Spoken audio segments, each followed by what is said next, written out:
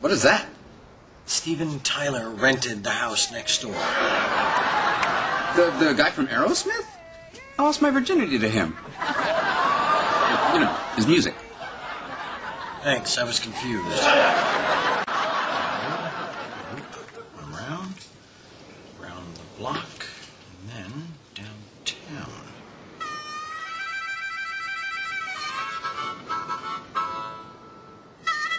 Over, over, loop, around, around block, and then. Yo, dude, some of us are trying to do crafts here.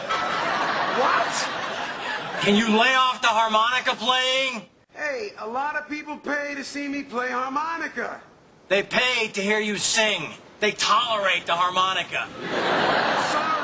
Sorry I don't measure up to your musical standards, you lame-ass jingle writer. All right, let's see how you play harmonica out your other end. No, no, no, no, no. Let's slow down here. Come on. Let's see what you got, jingle balls. Okay, I'm gonna rip off your big fat lips and use them to kiss my ass. Charlie, please, please. No, your emotions are a little bit frayed right now. Right, right, okay. Okay. I'm better. That's it. No, Charlie, Charlie, wait. Charlie, don't do this. Come on, Tyler. You want a piece of me? Hey, it's Charlie here?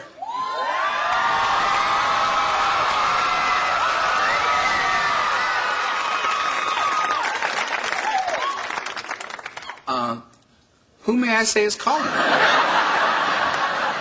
It's okay, Alan. Hey, Chaz. Thanks for the gift. You're welcome. So no hard feelings. Nah. You?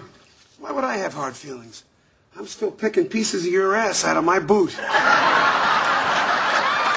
Good one. Okay, well, good luck with the tour. Thanks a lot, man. Who's the sponsor? Metamucil? What was that? Nothing. Nothing. Um, I just want to say, I'm a huge fan. um, I lost my virginity to you. Really?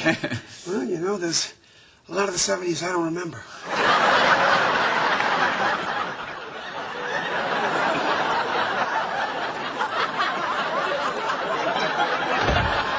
Isn't that the hat I got you?